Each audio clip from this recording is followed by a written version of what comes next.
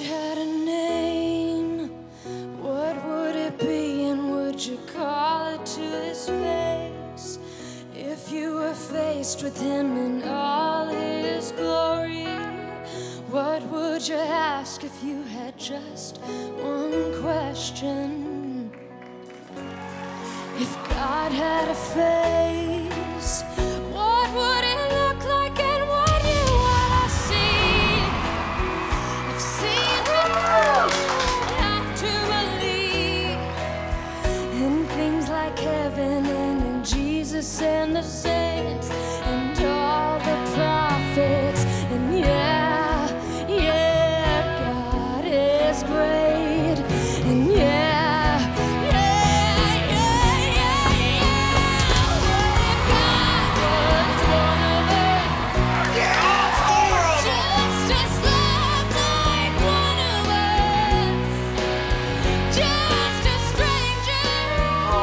Listen to her.